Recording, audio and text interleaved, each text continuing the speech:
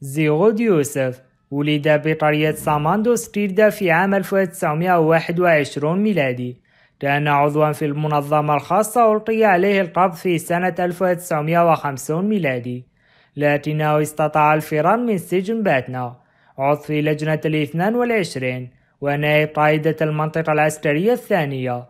قائد هجوم الشمال القسنطيني في 20 أوت 1955 ميلادي.